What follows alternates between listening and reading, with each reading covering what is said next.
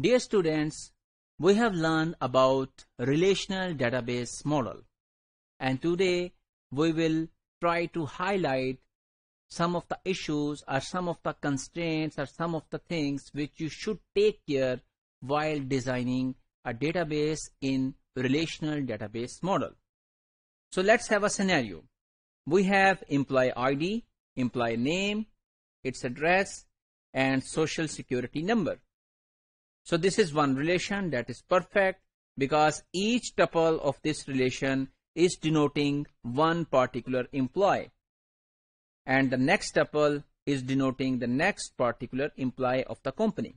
However, now we want to include job history of each employee associated with each employee that consists of such attributes as job title, secretary, office, manager, floor supervisor, a job identification code like unique to each job, the skill code associated with each job, the department in which the job exists, and the period during which the employee held the job in terms of a starting date and termination date.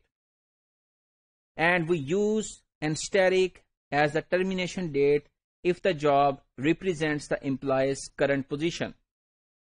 So we want to add all of the things which I have highlighted in this slide in this relation. So let's try to put all of the things in this relation. So here we have the same relation which was on the last slide and then we have added job ID, title, skill code, department, start date and term date. And this asterisk means that this is the current job of this employee. So what kind of issues you can see in this particular relation. One of the issue is the data is redundant. So for example, in the previous slide, one tuple was denoting one particular instance of the employee. However, here you can see that the employee who has employee number 25X15 whose name is Joey E. Baker address is this, SSN is this, he has hold two jobs. First job was F5, its job title. It was floor manager. Skill code was FM3. It was in the sales department and it started in 1st of September 2009 and it end by 30th of September 2010.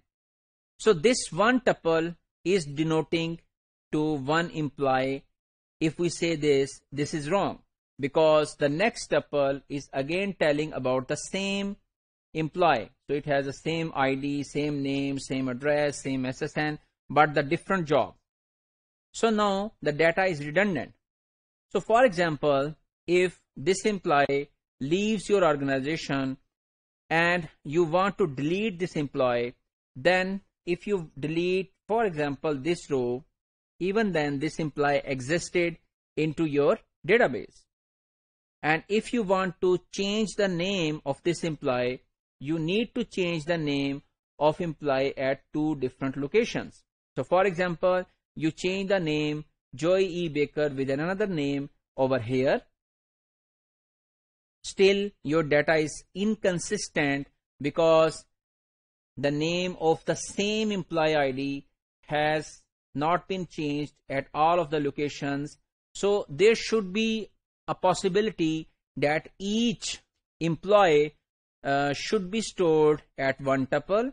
Each job should be stored at one particular tuple and the assignment should be stored separately. So this means we have designed this relation wrongly. We have put the employee information, the job information and the job assignment to employee in one relation. So we should try to eliminate things in a bit, bit uh, more easiest way by breaking this into multiple relations. And then there is another very important point. For example, if you want to delete the job ID, for example, the job ID D7. So if that job ID is done by only one employee and if you delete that employee this job doesn't exist into your data which is not the case because job is all always existed into your data. This might be the case that that job has not been assigned to one particular employee. So let's try to resolve this so we have one relation related to employee one relation related to jobs and another relation here we have used the employee id job id and start and term date which is the assignment relation so we have divided the parent relation into three relations so here you can see that redundancy has been resolved because the Joey E. Baker will only be stored at once position. So this this is the same uh, table which we were discussing two slides back and then we have made the job relation table where job, job title, skill code and department and then we have tried to integrate both of these into this relation. So it has removed all of the anomalies to add, delete and when you want to delete jobs etc. So for example if you want to delete an employee you will delete from here and the job will remain in this relation as it is. So let's summarize today's module. We have learned some design issues while designing the relational database model, design model, and we have learned, we have raised some issues that what need to be take care and then we have discussed that how to resolve those issues by aggregating and by presenting only the relevant information in one particular relation.